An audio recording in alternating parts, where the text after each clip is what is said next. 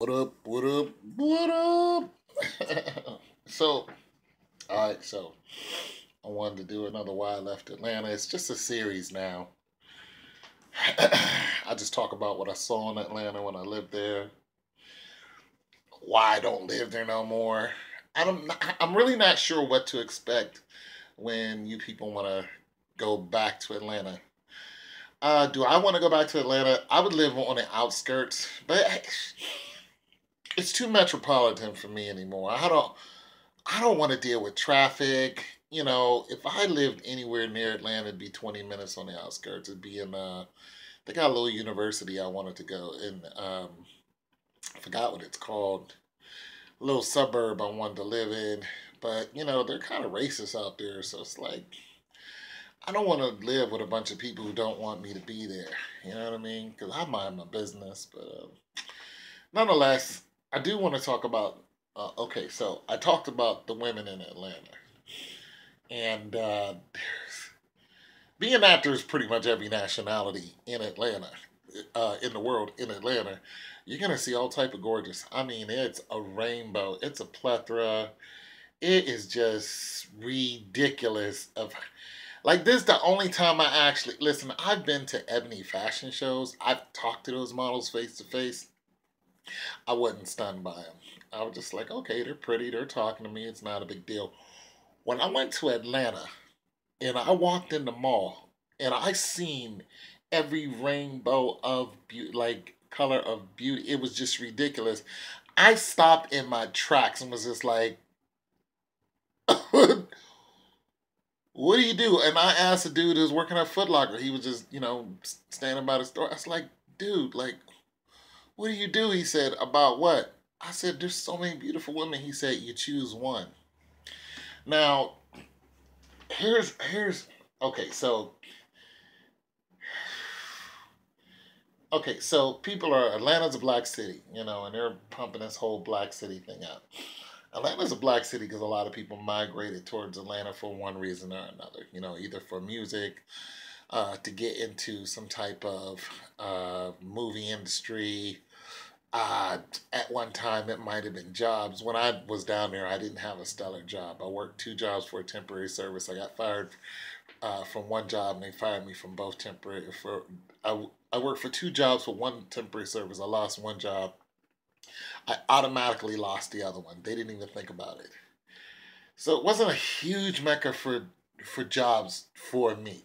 You know, I went down there. We had a uh, had a job fair, and thousands and thousands and thousands of people showed up, dressed up. You know, everybody, and it was just ridiculous. So it's not you're not moving down there because there's a lot of jobs. You may move down there for a particular job. Let's say that you have a degree in something, you know, and you specialize. Like if you have a business management degree, I don't scoff at that degree if somebody has a business already and they want that degree to back them up. But if you're just going to get a business management degree, get that with some type of specialty added to it. You know what I'm saying? Don't just get a business management degree. It's like getting a biology degree. You know, if you get a biology degree, you might want to go ahead and add, like, get a master's in, you know, biology of something. So you are now a specialist at something. Other than that, you'll uh, you might work in a lab. Okay, that's cool. If that's all you want to do, that's cool. You know what I'm saying? Uh, you know, you could be a you know a lab tech or whatever with that but, you know, be a specialist at, at something. You know what I'm saying? I'm getting a healthcare management degree. You know, I'm probably going to get a, a health information management degree also. You know, so I'm going to be a specialist at something. I'm getting into uh, healthcare fraud. So if there's a master's in that vein of investigative, you know, healthcare fraud, that's where I'm going. You know what I'm saying? I'll be a specialist at something. You know what I'm saying? Like I want to be the person, the go-to person for that department. You know what I'm saying? So that's all I can say about that. Uh, because in Atlanta, you have a lot of people who have degrees. You know, there's like four or five HBCUs all right next door to each other, literally. You know what I mean? So it's not like you're going down there and, you know, just you being a you who you are, you're going to get this fabulous. Listen, that doesn't work for everybody. It just doesn't. If you move to Atlanta, you got to have a game plan. I mentioned this before. Well, if you're a young person and you got, okay, if you're a young person, there's so many ways of making money now. Uh, you know, there's some guys who are making ten thousand a month just on off of IG. You know what I'm saying? Uh, just off of YouTube videos or Vine. Hey, if that's your hustle, that's fine. You know what I'm saying? That's how you getting your money. You making more money than a lot of older people. I don't have an issue with that, not unless you're going around like boot gang and destroying people's stuff. I have an issue with that. Like that dude is not a celebrity to me a dude is a clown and somebody's gonna, you know, deal with him when he comes across the wrong person and he destroys their stuff. Like that's a bad idea. If that's how you making your money, you better be careful because somebody's gonna catch on to it, and you might get it. You might get, you know, somebody's gonna deal with you. Uh, but nonetheless, you have a lot of people out here who are funny and they're making good money just being a funny person and yada yada yada. So there are a lot of different avenues. Listen, when I talk on, on YouTube, I don't make a lot of money off of YouTube videos, but every cent counts to me. Every day I make, you know, maybe, you know, in between 70 to a dollar 15 every day. But that, like I said, that's my dollar 15 to 70 cents to dollar 15. And eventually it's going to equal a hundred bucks and I'll get a YouTube check. Like, like I don't try to master YouTube, but I do it because one, it's an outlet. Two, I get paid for it. You know what I'm saying? So that, like I said, you got to have that type of hustle. But when it comes to going to a major place like Atlanta, you're not going to live off of, you know, a dollar a day you need to have yourself an already established income or be walking into a job, not going down there looking for a job, walking into that job. Okay, I was gonna make this about women, but forget it. Uh, you know, I was gonna talk about you know the style of what I saw down there, but I want to talk business with you guys because I, you know, for the people who watch my video, you know, I'm 50 years old, so I've been through a lot, you know, and the things that I've been through, you know, uh, my father went through it when he was a younger dude, you know what I'm saying? So I'm telling you guys so you can have a heads up on uh, one culture, fashion, and, and money. Like you can't even think straight when your stomach's hungry. You can't. You cannot you can't think straight. And, and, like I said, there's a lot of stuff going on in Atlanta. There's there's some good. There's a whole lot of bad going on that, down there. There's a lot of good going down there. And if you go down there with your pockets nice, especially if you just you just graduated, make sure that you vet the market. Make sure that you understand the market that you're going into. Uh, you know, and a lot of young people have these high hopes and dreams. We all do it. Everything's going to work out for me. And then when you get your dreams crushed, a lot of people can't handle that. Like they get crushed, crushed. Like I, I got fired one time and I was depressed for six months. Like I didn't want to talk to my girlfriend. I lost my girlfriend. I lost my job. I, I didn't care about a single thing. But when I finally snapped out of that, I realized that, for one, that's not my job. It's their job. And they let me be there for a while until they took it away. When they felt like taking it away, it was gone. I had no control of that. It wasn't it it it wasn't it, it's not mine. I don't own it. So when you say what your job is, you know, this is my job. You know, this this is my job. Uh, no, that's that's an occupation. You don't own that job. You are temporarily occupying that space until they want somebody else. And when you have that in mind, you always have a contingency plan.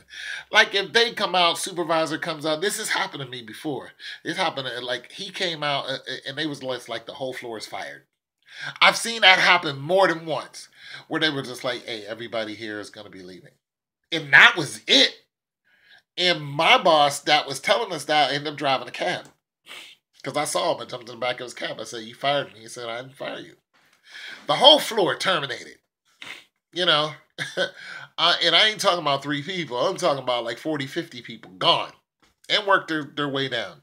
So I'm just saying, you know, you go, you get comfortable, you go to work, get up. Uh, and I know a lady who was comfortable with her job. She called me. She said, Tony, they fired me. I was like, why? They just, I mean, they just walked in and just fired this woman. And she almost broke down.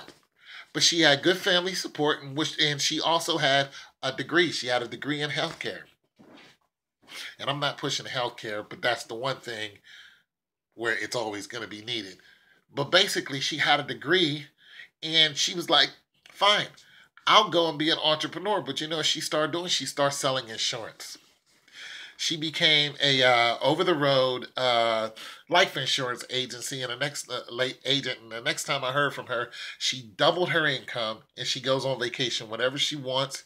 She puts her she put her kids through college. She got grandkids now, and she's doing great. She's just like I doubled my income, and it worked out to her favor that they fired her. And I wanted to like I want to let y'all know like like it's a dog eat dog world out there, especially in the A. There's a lot of people with degrees. There's a lot of people who feel like they're special. Listen, you have to make yourself special. And you don't have to make yourself special to them. Like, don't work for them. Do not be in that mind state. Don't be around anybody who has that mind state. I work for them. No. You are always self employed, regardless of what your W 2 says. You have to keep that in mind. You have to keep in mind, I always got two or three contingency plans. I always got two or three hustles going on. Uh, I got a tight network of, you know, two or three people that we are all in the same frame of mind. We are all hustling. This is what we do. You know, we all got you know, it, it, you because you got to look at it. Even if somebody gave you a job right now and said you're gonna make 60, 70,000 a year, you'd be like, I'm gonna make 60 or 70,000 until you decide I don't belong here anymore. You might not even get to see, you might not even get to the first paycheck. I had a company that didn't even want to pay me. They just shut the doors when we came for our paycheck. So I'm just saying, stuff like that happens and they would not open the door and give us our money. We never got our money for that. I'm just saying, you have to have something to fall back on. And that something has got to be you and your intelligence. A degree definitely helps. If you don't have a degree, you got another type of hustle. Family definitely helps, but they need to be on board with what you're doing. They don't need to be taken away from you. They need to be adding to what you're talking about. You know what I'm saying? And what you're doing. If they not, then skip them. I'm not trying to hear that. You can't borrow money from me every time I talk to you. No, hang, I'm hanging up. Bye, love you, bye. You know, Jesus wept. Gotta go. I'm just saying, you gotta have these things in frame of mind. You just do. Now, yeah, your family needs help every now and then. Everybody needs help. You know, that's every now and then. You help them, they help you. But y'all have to have the same goal in mind. If they're not going anywhere and you see every year you're not going nowhere, no, I, I'm, I know I can't keep doing this with you. You know what I'm saying? The same with your friends, your girlfriend, your boyfriend. I don't care, your mom. I don't care who it is. If they're draining your pockets and it's a constant thing and they're not helping you build, cut yourself financially off from them. Get out, like the movie Get Out. Get out. Get away from that atmosphere because you will go broke doing that. You really, really will. You have to have your hustle game in mind. And Atlanta is a place that's full of opportunities if you know how to hustle, if you know how to get out there and you know how to, like, I worked 16 hours a day. But what happened to me is I worked for someone. I wasn't working for me. I was like, yeah, I got these two jobs. I'm comfortable. I can do whatever, you know, take care of. I know that was a wrong frame of mind. It shouldn't have been like that. If I was working 16 hours for me, but I was at that job, I wouldn't have never fell down when they fired me because I would have always had something else going on. You know what I'm saying? I got four or five ways I make money now. So when I, I'm always listening to how much do I, money do I got in the bank, and I'm always trying to make that up. I'm always online looking for something. And I'm 50 years old. I'm always looking for something else. Okay, I just spent $200 on bills. I need that $200 back. I'm just saying you have to have that in, a, that frame of mind or you'll go broke. It's your boy Tone 202, man. God loves you. Stay up.